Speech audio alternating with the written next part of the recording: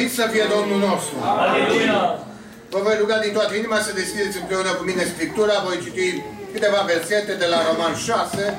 Vom citi de la versetul 3. Roman 6, de la versetul 3, pagina traducerea Cornelescu 1099. Roman 6, de la versetul 3 și să urmăm împreună cu evlavie și cu respect cuvântul Domnului. Nu știți că toți câți am fost botezat în Hristos Iisus, am fost botezați în moartea Lui? Noi, deci, prin botezul moartea Lui, am fost îngropați împreună cu El, pentru ca, după cum Hristos a înviat din morți prin slava Tatălui, tot așa și noi să trăim o viață nouă. În adevăr, dacă ne-am făcut una cu El, printr-o moarte asemănătoare cu a Lui, vom fi una cu El și printr-o înviere asemănătoare ca a Lui. Amin. Amin. Vă rog să ocupați locurile.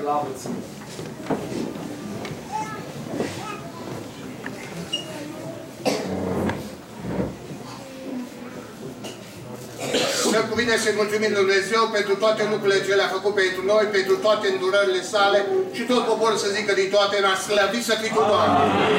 Binecuvântat să fii Tu pentru că ne vești peste noi harul Tău, fără niciun merit din partea noastră, pentru că dragostea Ta față de noi este nemărginită. Apoi mulțumim și Dumnezeu pentru ziua de astăzi, când patru suflete încheie un legământ cu Domnul. Este o mare bucurie pe pământ, este o mare bucurie în cer patru sufletele care au fost luate de împărăția diavolului și să fie aduse la viață veșnică împreună cu Hristos. Zice din toată inima, Domnul să fie lăudat pentru lucrul acesta. Apoi vreau să vă mulțumesc din toată inima pentru primirea dumneavoastră. De fiecare dată e foarte călduroasă, curge apa pe mine înainte de a începe. Zicem din toată inima, Domnul să vă binecuvânteze. Cu asta introducerea s-a terminat. Domnul mi-a pus un cuvânt pe inimă cu care m-am luptat și mă lupt foarte mult și acum și nu neapărat și pentru ei, dar și pentru noi toți acei care am încheiat un legământ cu Domnul. Aleluia. Pentru noi toți acei care am intrat în apa botezului și am încheiat un legământ cu Domnul. Și aș vrea să vă explic puțin despre ce este. La un moment dat, la un moment dat, Vin ucenicii și îl întreabă pe Hristos, ne uităm în Matei 24, și îl întreabă pe Hristos, păi care sunt semnele vremurilor din urmă? Noi trăim vremurile din urmă. Și vine și zice că care vor fi semnele, Matei 24 cu versetul 3, care va fi semnul venirii tale și al sfârșitului viacului acestuia? Noi suntem acolo aproape.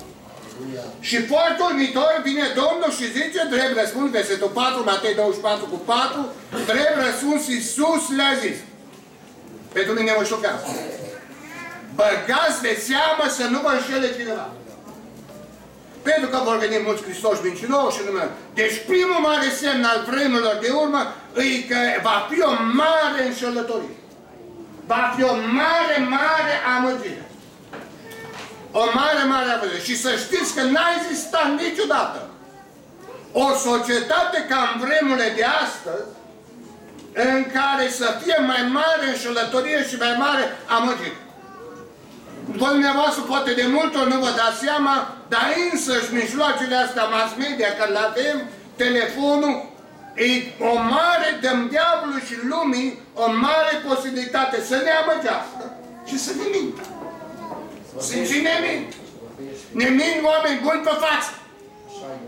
Minciuna a ajuns adevăr și adevărul a ajuns minciuna. Și noi de multe nu ne băgăm în, în, în seamă pentru că asta e semnul vremurilor.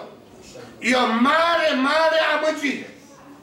Diavolul încearcă ca toate lucrurile bune să le strice, să le învârtă și să le prezinte pe tavă ca fiind bune ale lui, ale rele. Și din cauza aceasta Domnul mi-a pus pe inimă să vorbesc în dimineața aceasta despre amăgiri la botezul în apă. Amăgiri la botezul în apă. Și și după. Amăgiri la botezul în apă și după botezul în apă. Dar să ne uităm numai puțin mai departe la amăgire. Dacă vă veți uita în Scriptură, e foarte des repetat cuvântul ăsta. Să nu vă înșelați. Să nu vă lăsați înșelați. Să nu vă înșelați singur. Că există două feluri de amăgit, poate pe scurt. Adică te amăge și altul. Te înșală altul. Am un personal să știți că pe mine mă doare și că mă înșală cu câțiva euro. Și mă zic, de ce m-am lăsat înșelat? Unde mi-a fost minte? Dar mai rău, să te înșeli singur. Există un proverb la noi, zice, îți fur singur părărie. Îți fur singur căciulă. Și asta e mai dureros. Apoi, că Domnul vorbește foarte des despre lucrul acesta și prezintă Matei 7, unul din capitolele cele mai tari care le cred eu, din Biblie, cu cuvinte niște aspre, enorm de aspre, în care ne prezintă că te poți înșela singur și înșelăciunea căi cauți o cale cât mai largă, o poartă cât mai deschisă. Și de ce? Te mai pot înșela alții, nu vreau să și de proroci mincinoși, și mai ales te poți înșela, zic că mai, dar am făcut foarte multe pentru Domnul. De la versetul 21, că mulți vor zice, am predicat, am fost, m-am botezat, am făcut. Dar acum vreau să vă prezint în Scriptură că există în Scriptură un exemplu, eu zic așa, că pipăi, îl pipăi cu mâna. Să vedeți cum om se înșală singur și înșală și pe alții și foarte, foarte actuală în vremurile de astăzi, vă voi prezenta să vă prezint foarte pe scurt, ne uităm în Rămânul Împărați, de la vers, capitolul 10, de la versetul 14 și îl prezint acolo foarte tare pe Solomon. Asta pentru că s-a avut o perioadă a lui mare de căutare a Domnului, Domnul binecuvântează deosebit. De la versetul 14, greutatea aurului care vedea la Solomon în fiecare an era de 666 de talanți de aur minim de 23.000 de kilograme. Vine anul. Și asta se gândește să facă niște scuturi, dacă vă veți uita, versetul 16, împăratul Solomon a făcut 200 de scuturi mari de aur bătut și pentru fiecare din ele a întrebuințat 600 de sicli de aur. 200 de scuturi mari, fiecare, cam de 7 kg. Și a mai făcut 300 de scuturi mici de aur bătut și pentru fiecare a întrebuințat 3000 de de aur. 300 de scuturi mici, fiecare cam de 2 kg. Și ăsta le purtau, avea oameni care le duceau, erau multe, nu 500 de oameni, umblau cu ele. Și fiul, vine fiul lui la tron. Trecem la capitolul 14 de la 21. Vine fiul lui Roboam. Roboam, fiul lui Solomon, împăratul lui, și vine la tron. Și ăsta, în loc să se țină de Domnul, dacă veți uita, versetul 22, Iuda a făcut tot ce este rău, 14-22, înaintea Domnului și face tot felul de păcat. Și ce se întâmplă? Domnul pedepsește. Și toate scuturile îi sunt furate. Vine un împărat și le ia toate scuturile.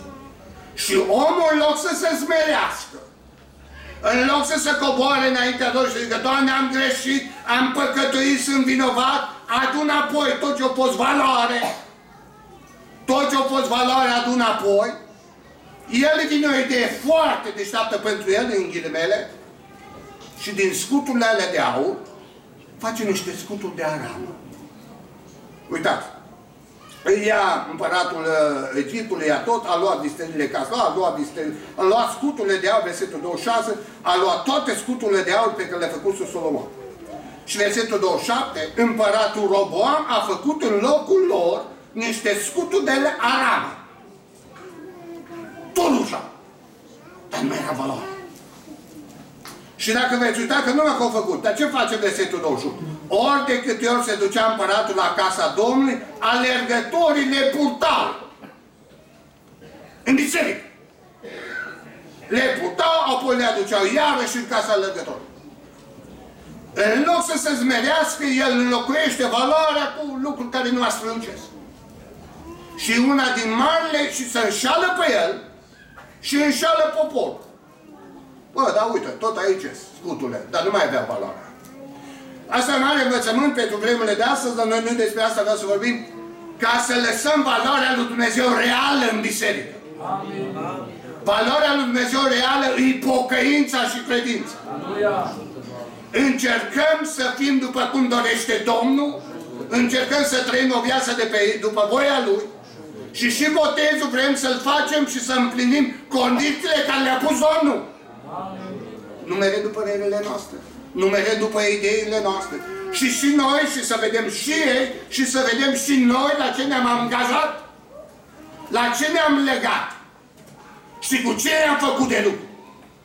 Pentru că vreau să continui la amăgire, prima vă voi prezenta și foarte important, continui totuși și foarte important, să avem grijă. Avem grijă. Pentru că Scriptura foarte des avertizează, aveți grijă. Și pentru noi în ziua de astăzi, Duhul Sfânt vrea să aveți grijă. Și asta pornește din dragostea lui Dumnezeu pentru noi. Copiii când sunt mici și trimiți la școală, ce le zici? Ai grijă. Vezi când treci strada, uită-te la dreapta și la stânga. Să nu te lovească nici vreo mașină și nici tramvai. Asta zice. Că dacă împrumut mașina de la cineva și ăla nu-mi spune, ai grijă că frânile nu mă bine. Și intru, fac un accident, îi supăra foc pe el. Îi supăra foc pe el. Și zic, mă, cum a lăsat? De-aia Scriptura ne zice nouă, că cei care am legat, am făcut acest legământ și cel care să avem grijă. Pentru că diavolul vrea să ne înșele. Și foarte ușor ajung să ne înșelăm și să ne amăgim. Și vă voi prezenta trei înșelătorii și ce să facem ale diavolului legate, trei amăgiri. Legate de botezul în apă și prima care o numesc, eu așa zic, e să pui un accent foarte mare foarte mare pe hainele albe fizice și să uiți și să ai cugetul murdar. Cugetul murdar. Și ne uităm foarte frumos în Scriptură, zice 1 Petru 3 cu 21. Icoana aceasta închipuitoare vă mântuiește acum pe voi și anume botezul care nu este o curăție de întiniciunile trupești. Și vă rog să fiți atenți, și mărturia unui cuget curat. Înaintea lui Dumnezeu, prin învierea lui Hristos Iisus, care stă la dreapta lui Dumnezeu, după ce s-a înălțat la cer și și-a supus îngerii, stăpânire și putere. Când intrăm la botez, știu că și băiatul meu, prin m-am bucurat mult, a fost o bucurie la noi și băiatul meu s-a botezat în ziua și să face efortul. Hai să-mi găsesc pantaloni albi, cămașă albă, rochie albă, bluză albă, dacă ar putea, se vorbea și pune un accent foarte mare de a avea hainele albe, care e foarte frumos. Dar foarte des. Și și după botez. Uităm de, de cuget. Uităm că cugetul trebuie să fie, când intră că e mărturia unui cuget curat. Și trebuie să fie păstrat curat. Păstrat. Conștiința noastră. Foarte pe scurt vreau să vă, vă povestesc cugetul, conștiința noastră, există foarte multe cuvinte în Scriptură despre asta. Foarte multe cuvinte în Scriptură, dar eu cum văd cugetul? Și vreau să vă explic foarte pe scurt. Eu văd cugetul ca fiind locuința în care stă credința. Ca să înțelegeți, e cuibul în care stă pasăre. Văd cugetul ca cuibul în care stă pasăre cuibul în care stă credința. Acum, dacă vrei să alungi o pasăre, ce trebuie să faci? Îi distrugi cuibul sau îi murdărești rău cuibul și ea pleacă. Deci face asta. Vin foarte mulți care întâlnesc și mai ales după botez și zice Frate! Domnul e vinovat. Dar de ce? Mi-am pierdut credința. Nu mai cred așa cum am crezut. Nu mai cred în Dumnezeu că se îndură de mine, că are grijă de mine, că tot felul de... Și știți care e răspunsul? Ți-ai murdărit cugetul. Ți-ai murdărit cugetul. Pentru că într-un cuget murdar, credința care-i darul de la Dumnezeu, pleacă, iubiți Să știți că pleacă. Botezul este mărturia unui cuget curat, care trebuie păstrat. Să știți. De-aia noi insistăm foarte tare și chiar trebuie că și la noi așa, îi mărturisim ca să le dăm posibilitatea la toți să vă, să-și curețe cugetul. Dar iubiții mei, ceea ce vă îndemn chiar dacă ai fost botezat de ani, de ani, nu uita, curăță-ți cugetul. Du-te la mărturisire. Du-te și plânge și cercetează înaintea Domnului, pentru că într-un cuget murdar, credința pleacă.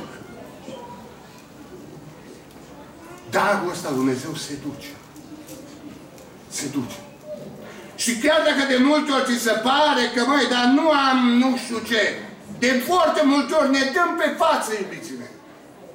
Ne dăm pe față fără să vrem cu tot felul de lucruri. Și ne arată că cugetul nostru nu-i curat.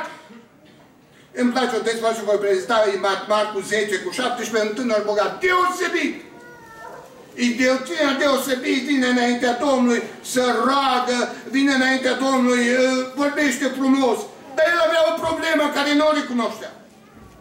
Era bogat și ținea la bogățiile lui. Ținea la bogățiile. Și atunci Domnul zice, du-te și vine tot ce ai. Pune o condiție care nu mai apare niciodată în Biblie. Nu mai apare niciodată în Biblie. Și omul zice, Iisus, versetul 21, Marcu 10 cu 21, Iisus s-a uitat țintele el și a zis, du-te și... Mânind de aceste cuvinte, versetul 22, omul acesta a plecat încristat de tot, căci avea multe bogății. Chiar dacă de multe ori cugetul nostru nu-l dăm noi, nu vrem să-l dăm, dar există anumite puncte care ne dor. Și dacă vezi anumite puncte prin cuvânt, dacă vezi anumite puncte prin prorocie, că te ating, e timpul să speri cugetul. E timpul să te duci la mărturisire. Mi s-a întâmplat și nu vreau să spun, nu e nici o poveste și nici un ban, și nu că o spun numai să spun cum ne dăm noi de gol, că cugetul nu-i curat. Eram la mol, vorbeam despre total altceva și am spus fără să-mi dau seama, am spus fără să, aproape fără să-mi dau seama, dar Domnul știut, că dacă ai trăit înainte de căsătorie cu cineva, șansele de a fi fericit sunt mici. Că pentru că tu te urmărești, e pe urmele tale, nu te lasă. Nu termin de vorbit, nu termin bine de vorbit, mă așteaptă în față unul și strigă în gura mare la mine, mă ia foarte tare. Nu e adevărat, noi ne înțelegem foarte bine. Păi zic, stai mă, omule, zic, uite, înainte pe nevastă ta. Păi zic, hai să te luăm imediat. S-o dat de gol. S-o dat de gol. Și nu-i bani, nici poveste. De-aia, iubitul meu, dacă ești înțeles, aceștia doi sau aceștia patru și-au curățat cugetul prin mărturisire. Dacă există ceva ce te acuză, du-te și spală-ți cugetul. Du-te și curăță prin mărturisire. Pentru că altfel nu avem progres. Și nu avem nici progres, nici tu în viața spirituală, nici în cadrul adunării, pentru că diavolul vrea să ne amăgească. De cauza aceasta, zic de toate noi, Doamne, dă-ne puteri Amin. ca să ne păstrăm hainele curate. Amin. Pentru că așa zice în Apocalipsa 7. Și unul din versetul 2 a luat cuvântul și a zis, aceștia sunt care aceștia care sunt îmbrăcați în haine albe, cine sunt ei oare? Și zice, Doamne, i-am răspuns eu, Tu știi și El mi-a răspuns, aceștia vin din cazul cel mare. Ei și-au spălat hainele și le-au albit în sângele mielului. Iubiții mei, să ne păstrăm hainele curate, să ne curățăm cugetul, pentru că așa va fi plăcuți înaintea Domnului și va ajunge înaintea Lui. Și zic ca Domnul să ne ajute la lucrul acesta mă duc la altă mare amăgire al vremilor de astăzi și vreau să vorbesc la botez, vreau să vorbesc despre ea, este să mă concentrez foarte mult asupra programului de legământul ăsta și să uit la ce mă angajez. Există și la noi și am observat și la dumneavoastră cu ocazia botezului foarte mulți care doresc să slujească, sunt mulți care vorbesc, sunt mulți și întotdeauna avem un program foarte încărcat. Foarte clar. Și uităm foarte des să le amintim nouă, care am încheiat legământul poate de ani de zile, și să le amintim și celor ce care, iubiții mei, la ce vă angajați? Și la ce ne-am angajat? Vorbim foarte mult despre botez și foarte adevărat că botezul este un legământ. O angajare înaintea Domnului. Și sunt mai multe legământe, mă duc scurt. Domnul face legământ cu Avram, cu David, cu poporul, cu noi, etc. Dar numai să vă spun foarte pe scurt să înțelegeți gravitatea. Gravitatea. În primul rând, cum se făcea în Vechiul Testament și pentru noi valabil, să lua un animal, să tăia în două, o jumătate să punea pe o parte, o jumătate să punea pe cealaltă. Și Domnul însuși, Dumnezeu însuși l-a luat pe Avram, sau dacă făceam un legământ cu cineva, luam de mână și veneam printre cele două jumătăți de animal și înțelesul era, dacă încalc legământul, dacă nu vă mai păstra de el, așa s-a ajuns. Tăiat în două ca un animal. De-aia foarte des în Biblie vine Dumnezeu și zice Eu sunt credincios. Înțelesul foarte exact, mă țin de cuvânt. Și vă chem și pe voi să fiți credincioși. Să vă țineți de cuvânt. Pentru că legământul și mai ales pentru vremurile astea și trebuie așteptat, pentru că așa cum scrie în Luca 9 cu 62, Iisus a răspuns, oricine pune mâna pe plug și se uită înapoi, nu este destoinic pentru Părăția Lui. Iubiții mei, voi vă angajați în ziua de azi.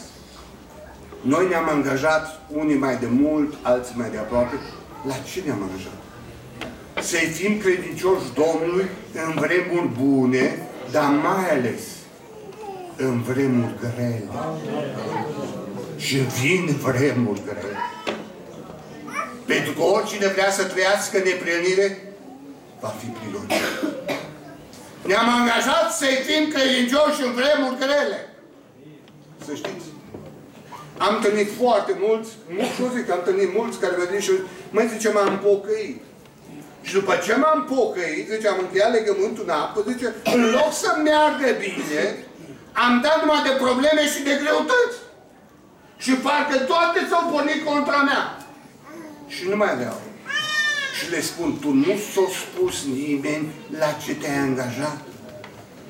Te-ai angajat să slujești Domnului în timpul greutăților, necazurilor și problemelor și să strigi chiar din toată mea, binecuvântat și slăvit să fie Domnul pentru ele. Amin, amin, amin. Pentru că știu că toate lucrurile lucră împreună spre binele celor ce iubesc pe Domnul chiar dacă casa mi e lovită de nevoi, chiar, chiar dacă casa mi e lovită de lipsuri, și chiar casa e lovită de solul morți. Pentru că m-am angajat să fiu credincios. Și M-am angajat și v-ați angajat și voi v-ați să slujiți Domnului chiar când nu toate lucrurile le pricepe. Chiar când nu le pricep toate lucrurile ce se întâmplă în viața mea. Nu cum zice Domnul lui Petru, ce ți-o să faci acum nu știi tu, nu poți tu pricepe, dar vei pricepe mai târziu, după aceea.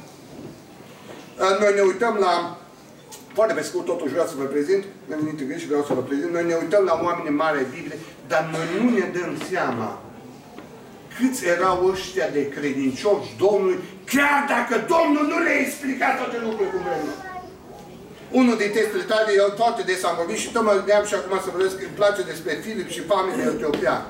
Filip și familia Etiopian. Și vreau numai să vă prezint un om credincios care Dumnezeu nu explică toate lucrurile. Și de multe ori mă uimește și mă șochează. Ăsta provedea, dacă veți uita încă de în 8, de la versetul 5, provedea în cetatea Samarie. Și lucrurile mergeau extraordinar de bine. Noroadele au luat să făcea multe semne, versetul 7, căci din mulți îndrăciți ieșeau duhuri necurate și scoteau mari țipete, mulți le vedeau și șchiopi erau tămăduiți. Merea extraordinar de bine. Și vine dintr-o dată un înger a Domnului, versetul 26, și a vorbit lui Filip și i-a zis, și vă numai puțin să fiți atenți. Scoală-te și du-te spre Neazir, spre drumul care coboare în Ierusalim la Gaza și care, să fiți atenți, este pustiu. Acum gândiți-vă și gândiți-vă numai puneți puțin. Însă într-o mare lucrare se face semne și minuni. Și vine un înger la Domnului și zice, tu dă-te pe drumul care e pustiu. Eu și zic, mă, nu Noi știm că l-a trimis pentru om, pentru un singur om, pentru famine, dar lui nici măcar nu explică. V-ați gândit la lucrul ăsta? Și aș fi zis, mă, îngerul ăsta e, nu știu, ceva de înșelăciune. Ba mai mult, dumneavoastră nu vă dați seama, din Samaria îi spune să meargă spre Ierusalim și Gaza spre pustiu și eu am calculat, vă spun sigur, sunt cel puțin vreo 180 de kilometri. Vreo 180 de kilometri. Și ăsta nu lua mașina, nici BMW-ul, nici Mercedes, s-a dus pe jos. Și dacă s-a dus ca un soldat roman 20 de kilometri pe zi, dar eu nu cred, câte oboseai, eu trebuie probabil vreo două săptămâni. Vreo două săptămâni. Să meargă pe jos. Eu, sincer, să fiu în alea două săptămâni, aș fi gândit într-una, dar oare o vorbit-o? Oare o vorbit-o? Oh, și om, Dumnezeu lucrează chiar dacă nu explică toate, toate detaliile. Lucrează prin El chiar dacă nu explică toate lucrurile. Și la sfârșit vede izbăvirea. Ne-am angajat să fim credincioși în vremuri grele, ne-am angajat să fim credincioși când trecem prin încercări și când chiar tot ce se întâmplă în viețile noastre, nu le pricepem. Dar știm că e mâna Lui care păzește asupra noastră. Știm că e planul Lui de săvârșit. Știm că El lucrează și tot ce se întâmplă e spre binele nostru. Din cauza aceasta zic din toată, binecuvântat și slăvit să fii Tu, Doamne. Eu sunt limitat ca om, mintea mea e limitată, dar știu că Tu ești Cel care lucrui și știu că toate lucrurile sunt ținute în mâna și în viața Ta. Deci pe lângă o mare amăgire și trebuie să luptăm la asta să avem, să nu avem cugetul curat, pe lângă de multe ori o mare amăgire, a doua mare amăgire să nu înțelegem gravitatea acestui legământ și la ce ne-am angajat, eu zic că a treia mare amăgire la botezul în apă e că să primești un nou statut. La botezul în apă veți primi un nou statut, veți avea voie să luați cina, veți fi declarați membri ale bisericii, e poți numi copil la Dumnezeu și să uiți, și să uiți că trebuie o viață nouă. Că trebuie o viață nouă. Vă trebuie o viață nouă. Botezul în apă suntem chemați să trăim o viață nouă. Să știți, și foarte multă lume uită. Și foarte mulți pocăiți vreau să zic, uită lucrurile. Eu le spun la tot totdeauna și întotdeauna spun și vreau să vă spun și dumneavoastră, cel mai mare dar care ne-l dă Dumnezeu nouă, îi darul mântuirii. Darul mântuirii. Pe, fără niciun merit. Ca să primești acest dar al mântuirii, trebuie să întingi două mâini. Și una este credința și cealaltă este pocăința. Credința și pocăința. Credința dată să crezi în Hristos, numai că eu sunt foarte multe detalii care mie îmi plac foarte frumos, că sunt foarte frumos. Dar pocăință și ce înseamnă? Te recunoști că ai fost vinovat, te recunoști, renunți la toate faptele tale vechi și te îmbraci în hainele noi al faptelor neprihănite. Astăzi. Așa cum zice în, Matei, în Roman 6 cu 13 din textul care l-am citit, de, de citind, de la versetul, uh, citind de la versetul 11, tot așa și voi. Și iubiți și noi ne-am angajat la asta. Socotiți-vă morți față de păcat și vii pentru Dumnezeu în Hristos, Iisus Hristos, Domnul nostru. Și vă rog să fiți atenți. Deci păcatul să nu mai domnească în trupul vostru muritor și să nu mai ascultați de poftele lui. Să nu mai dați în stăpânirea păcatului mădulale voastre ca niște unelte ale nelegii. Și se prezintă îmbrăcarea. Și dați-vă pe voi însuși lui Dumnezeu ca vii din morți cum erați. Și dați lui Dumnezeu mădulale voastre ca pe niște unelte, ca pe niște unelte ale neprihănirii. Căci păcatul nu va mai stăpâni asupra voastră, pentru că nu mai sunteți legii ce Când m-am întâlnit cu adevărat cu Hristos și am luat acest legământ în apă, m-am angajat cu adevărat că am murit față de ca și tot ce înseamnă lume și sunt înviat la o viață nouă. În versetul 4 care îl citeam, tot așa și noi să trăim o viață nouă. Să trăim o viață Doamne, dă-ne nouă putere tuturor celor care am angajat legământ cu Tine. Să trăim viața asta nouă care aștepți Tu de la lor. Să urâm păcatul din toată, din toată inima și sufletul nostru. Să ne ferim de absolut orice ni se pare păcat. Și să trăim o viață de neplinire după Tine. Să știți că pe oamenii ăștia îi ascultă Domnul și pe oamenii ăștia lucrează Domnul. Că noi de foarte multe ori nu ne dăm seama cu ce Dumnezeu ne-a făcut de lucru.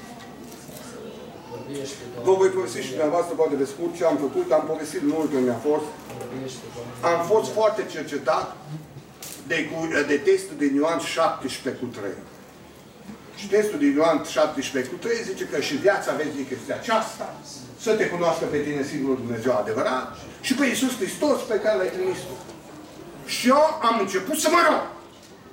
Dar vă mărturisesc de toată inima că nu mi-am dat seama toate toate. Doamne, vreau să te cunosc pe tine. Doamne, vreau să te cunosc pe tine și Dumnezeu foarte repede. Foarte repede mi-a zis la nivel de Duh, bine, bine. Și și să mi s-a întâmplat. Am povestit foarte despre noi românești pe unde am luat și nu-i banc și nici glumă. Știți ce mi s-a întâmplat? Foarte multe lucruri la servici care nici acum nu le-aș vedea păcat. Dumnezeu dintr-o dată mi-a arătat că sunt păcat. Dar acum nu vorbesc de hoții, nu vorbesc de înșelare, nu vorbesc de învârtire în acte, și îmi vorbea foarte clar ca și cum era cineva de mine. Asta e păcat, Daniel.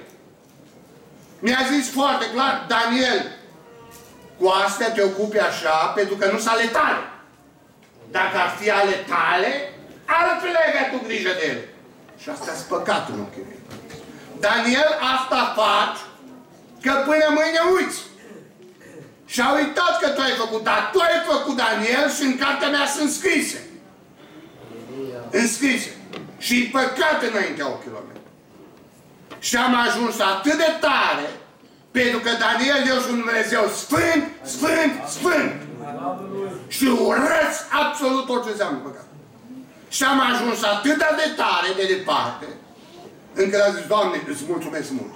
Îți mulțumesc mult, dar mă îngrozește Sfințenia Ta. Mă îngrozește Sfințenia Ta. Și cât îți eu de păcătos. Și cât îți eu de departe de tine.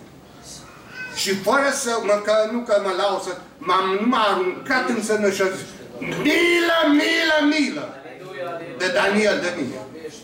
Milă, milă.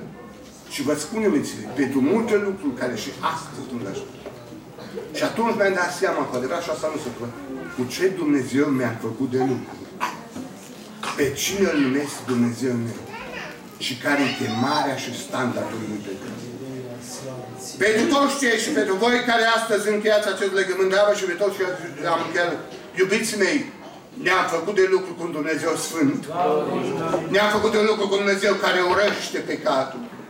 Ne-am făcut de lucru care, pe un Dumnezeu care cere de la noi să înviem la o viață nouă. Ba mai mult. Și am văzut asta și și ne-a dat și putere, dacă vrei.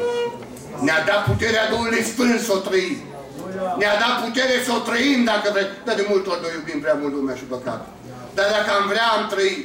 Din cauza aceasta zic, Doamne, eliberează-ne pe fiecare din noi din multele înșelătorii cu care încercă să ne oprească diavolul. Și dă-ne putere de a umbla haine albe și cuget curat față de Tine. Te rugăm, Doamne, dă-ne putere să înțelegem la ce ne-am angajat față de Tine, că ne-am angajat să slujim în vremuri grele, în vremuri de sfârșit și ne îndreptăm spre vremuri grele și dă-ne puteri, Doamne, să slujim Ție cu o viață nouă după voia Ta, o viață în sfințire și curățenie de Tine. Pentru că oamenii ăștia vor merge în cer. Oamenii ăștia vor intra cu adevărat în Împărăția Ta.